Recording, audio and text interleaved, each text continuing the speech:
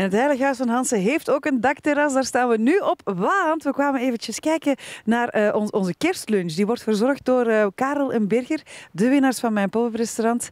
Eh, een barbecue, hè, dat is wat we hier aan het doen zijn. Absoluut, absoluut. Een echte winterbarbecue. Ja. Wat ligt er allemaal op? Uh, we hebben kip mee, uh, pulled pork, ribbetjes. Beetje alles wat we op de plank hadden in de pop-up. Ja.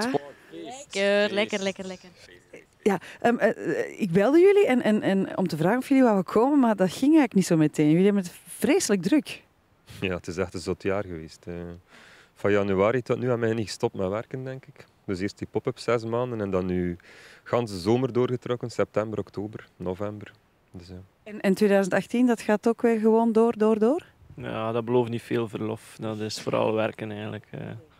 Uh. Een kerstbrunch, een kerstlunch liever. Uh, Rick, uh, past dat ook in de katholieke traditie of is dat echt weer zoiets nieuw? Uh, mij hebben ze maar één keer moeten vragen. Ik, het was altijd al mijn levensdroom om een winterbarbecue op jouw terras te mogen meemaken.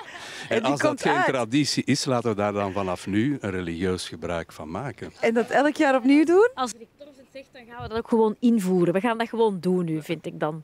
Nee? Dus ik hang er elk jaar aan eigenlijk? Eigenlijk wel, daar komt het op neer, ja. Kom, we gaan naar binnen, we gaan eten.